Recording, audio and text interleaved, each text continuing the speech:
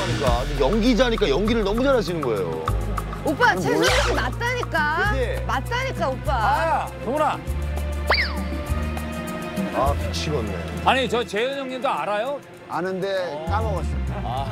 이쪽이 빵이고 이쪽이 꼬파이 100인 사람을 생각해서 올라가는 거잖아요. 그러면 정희 형님이 여기 올라가시고 아, 혜령이 마팔이나 끊지 마세요. 아, 여기가 빵입니다. 아, 나 이거. 그리고 여기가 그런 줄도 몰랐어. 꼬빵이 만. 실수로 그랬어, 실수. 저희가 많이죠? 네. 네. 자, 씨가 조재현 씨를 소유하신 시간은 7분이었습니다. 7만 원이고 7만 원이네. 그리고 최수빈 씨를 소유하신 시간은 97분이셨어요. 야, 어떻게든 이게 나. 수빈이 맞지? 맞아, 맞아. 맞아 맞아 오빠. 맞아.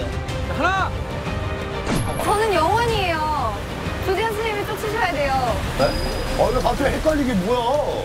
그래. 아 제가 진짜 거짓말 못해요. 둘, 맞아, 맞아. 누가 봐도 영원이잖아요. 네? 아, 왜 그러세요, 갑자기. 예?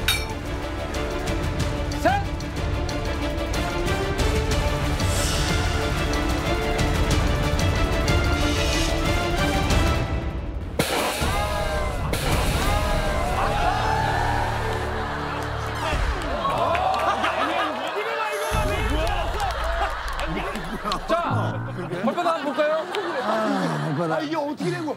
야, 아, 만 원. 깔, 깔창까지 나온다, 이거. 아 이거 좀 따로 아 따로 좀 이렇게 맞춰주셔야지 아 깔깔 붙이면 어떡하지 아, 형님. 아니 이거는 아니야. 이거는 예. 자, 이렇게 해서 우리 블랙몬스터 두 분이 31만 원의 상금을 획득하셨습니다. 아, 진짜?